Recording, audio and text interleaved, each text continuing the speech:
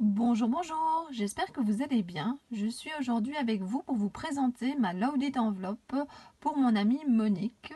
Alors, je tenais à vous la montrer lorsqu'elle n'est pas encore remplie. Donc là, je n'ai pas encore mis toutes les petites surprises. Donc regardez, j'espère qu'elle vous plaît. Je vais également vous la montrer sous un autre angle pour vous montrer tous les détails. Donc, euh, je ne vais pas vous montrer comment la fabriquer puisque j'ai déjà un tuto. Je mettrai le lien de la vidéo en barre d'infos. Donc là, on vous explique comment fabriquer, si vous voulez, la, structure. Et puis pour la décoration, mais ben, comme je l'ai dit, je vais filmer dans l'autre sens, par le haut, et je vais vous montrer tous les détails. Et puis je la remplirai et je vous montrerai également ce que ça donne. A tout de suite la voilà sous un autre angle. Alors, je vais vous présenter quelques détails donc de cette euh, enveloppe. Alors d'abord, ceci. En fait, c'est une boucle d'oreille. Alors, je vais vous la montrer de plus près. Donc, regardez, c'est une boucle d'oreille. La deuxième est ici. Je l'ai gardée pour vous montrer. Donc, voilà. Et ça vient de chez Zeman. Donc, c'est parfois une petite idée, c'est de prendre des porte-clés, des boucles d'oreilles, de les détourer pour les mettre dans nos créations. Je trouve ça assez sympa. Alors, qu'est-ce que je voulais aussi vous montrer? Ben, La boucle d'oreille, elle est accrochée ici dans un œillet. Alors, j'ai des œillets avec justement donc des petits fantômes. Et en fait, j'utilise cet outil pour mettre les œillets. En fait, vous prenez le papier que vous mettez là. C'est comme un ressort. Hop, ça fait un trou. On fait aller le ressort. Et puis après, de l'autre côté, c'est pour aplatir. En fait, ici, vous le mettez de l'autre côté, de l'autre côté de l'œillet. D'accord? Et puis, vous allez aussi tirer et ça va aplatir de l'autre côté afin de le fixer. Donc, vous connaissez peut-être. Si vous voulez, je vous fais une fois une démonstration si vous ne connaissez pas. Mais je trouve ça vraiment très, très pratique. Alors, qu'est-ce qu'on a d'autre? À l'intérieur, nous avons ici du ruban. Mais ce que j'ai bien aimé, c'est que c'est du ruban Regardez, alors je vais essayer de vous trouver la marque. Voilà, c'est du ruban, mais ici, il y a déjà de quoi coller ce ruban. Donc, c'était vraiment très, très pratique je reprends. Alors ici, chaque fois, j'ai besoin évidemment d'attaches parisiennes. Ça, c'est des qui viennent de chez Action, que j'ai acheté à l'époque. Alors normalement, ça doit ressembler à une chemise. Dans les autres, dans les autres que je fais, je laisse l'aspect chemise. Mais ici, j'avais pas trop trop envie. Donc j'ai plutôt décoré ces parties-là. J'ai essayé de mettre du relief. Donc vous voyez, j'ai pas collé toute la toile d'araignée. La toile d'araignée qui est ici aussi, c'est dans des décorations pour la table ou bien pour... Euh, mettre un peu partout. Donc c'est une vraie araignée en 3D comme ça. Je trouvais ça sympa, ça, change en fait des découpes plates. Par contre l'araignée qui est là, ou par exemple les petits fantômes qui sont ici, donc regardez là j'ai tout un sachet, ce sont des décorations pour mettre sur la table. Donc c'est du plastique qu'on met un peu partout sur la table quand on veut décorer. Qu'est-ce que je peux encore vous montrer? Alors surtout ça, je suis assez contente. Vous voyez la toile d'araignée qui est à l'arrière ici du château?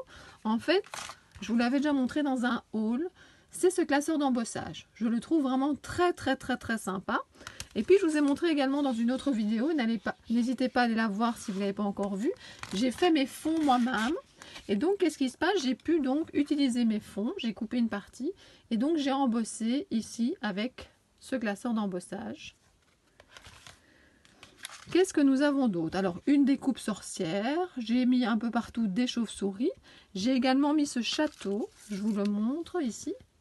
Alors ça, c'est un grand avantage, c'est quand vous avez plein de scrap copines, et il y en a que j'ai découvert via Internet, hein, je ne les connaissais pas en dehors, on s'envoie des découpes, et donc il y en a plein qui ne m'appartiennent pas, je vous l'ai déjà dit. Ce château, par exemple, c'est une copine qui me l'a envoyé, donc euh, il y a quelques années, je l'ai gardé. La petite barrière également. Et puis elle m'a envoyé ici plein de découpes embossées, alors je ne sais pas si vous les voyez, donc c'est notamment ce qu'il y a derrière la barrière. Voilà, vous avez l'arbre, les tombes. Et alors, dans le sachet, il y a d'autres tombes également. Mais je trouvais qu'elles étaient un peu grandes, donc je ne les ai pas utilisées. Voilà. Puis je me suis dit, pour mettre un peu en valeur le château, ben, je vais mettre comme s'il y avait de la lumière à certaines fenêtres. Et puis je vous ai dit, j'ai collé des petits fantômes ici. Alors j'ai également mis ça en 3D. Alors ça ne se voit peut-être pas. Mais j'ai utilisé des mousses 3D, des petits mousses 3D de chez, de chez euh, Action. pardon. Et en fait, pourquoi ça ne se voit pas? En fait, au début, ça se voyait très fort. Et puis finalement, je les ai en fait un peu peints avec un Posca noir sur les côtés pour que ça ne ressorte pas, pour pas qu'on voit trop trop en fait euh, le petit mousse. Voilà, ben je... Ah oui, j'ai également mis ici un ruban. Enfin, c'est plutôt un masking tape. Parce que ça, ça permet d'avoir vraiment deux pochettes. Et donc, en fait, c'est celui-ci que j'ai acheté sur AliExpress l'année passée. C'est pour ça que je ne vous l'ai pas montré cette année. Voilà, mais je pense que j'ai fait le tour. Je vais maintenant remplir l'enveloppe avec des surprises pour mon amie Monique. Alors il y a quelques petites choses que j'ai déjà préparées. Euh, C'était pas évident de trouver des choses parce que voilà, on fait régulièrement des échanges et puis évidemment de son côté, elle achète aussi des choses. Donc euh, voilà, j'espère que ça lui fera plaisir et je vous montre tout ça dans quelques instants. À tout de suite j'ai rempli l'enveloppe. Alors évidemment, je vais tout vous sortir pour vous montrer. Donc peut-être qu'après, ça ne sera pas exactement pareil. Alors moi, je vous propose, je vous ferai une photo à la fin de la vidéo de comment j'aurai tout remis dans l'enveloppe pour mon ami. Alors, regardez.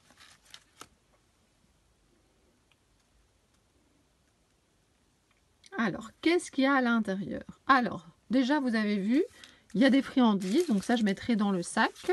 Je les mets un peu sur le côté. J'ai rajouté également une friandise ici. Je vous avais dit que j'aimais bien, donc c'était chez Zeman il me semble, parce que justement les bonbons étaient un petit peu décorés. Ce n'est pas toujours le cas dans les magasins. Le sachet est décoré, mais pas forcément les bonbons. Alors, je lui ai également mis un bic, évidemment, dans les tons orange. Alors, j'ai, alors ça c'est bien aussi, je trouve, c'est de mettre en fait, utiliser le washi tape ici, le masking tape pour mettre au-dessus pour enlever la marque et comme ça c'est plus facile à tirer, ça décore un petit peu. Je lui ai également mis, ça je pense pas que je vous ai déjà montré, je commande ça sur AliExpress et ce sont des petits coins pour mettre les photos mais les coins sont transparents et je trouve ça très très joli. Alors, je lui ai mis quelques découpes. Alors, je vous avoue que j'ai pas mis beaucoup de découpes à moi parce qu'en fait, elle les connaît. Je lui prête mes, mes dice. Elle également, elle me fait des découpes et elle me prête les siens. Donc, elle connaît vraiment beaucoup ma collection Halloween. Donc là, je lui ai plutôt mis des qui ne m'appartenaient pas. Et comme ça, ben, je, je suis presque sûre qu'elle ne les a pas.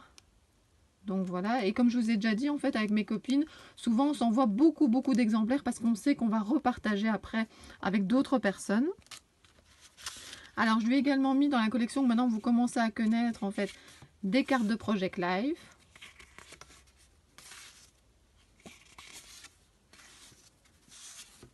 Ça, c'est vraiment le thème Halloween. Alors, est-ce que dans la grande poche? Non, je n'ai plus rien mis dans la grande poche. Alors, dans les deux petites, en fait. Alors, comme c'est aussi un peu automne, j'ai trouvé ces stickers et je me suis dit que ça lui ferait peut-être plaisir. Il brille même un petit peu.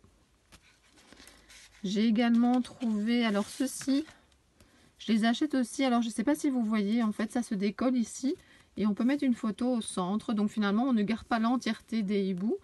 Donc voilà, moi j'aime beaucoup. Alors, je lui ai mis un dice. Alors là, de nouveau, hein, quand elle aime bien ceux que j'achète, elle les commande, c'est un peu logique. J'espère qu'elle n'aura pas celui-là. Euh, voilà, moi, je, l'aime vraiment beaucoup, beaucoup.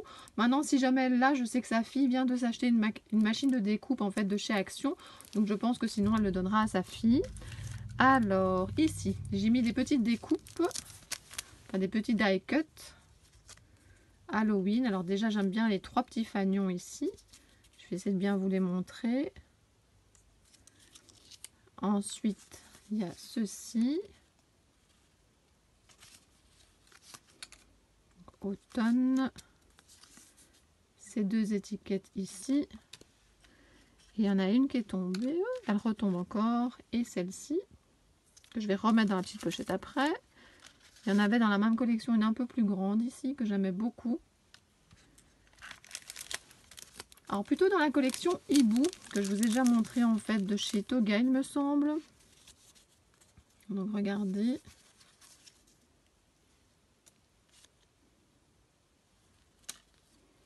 J'aime vraiment beaucoup cette euh, collection.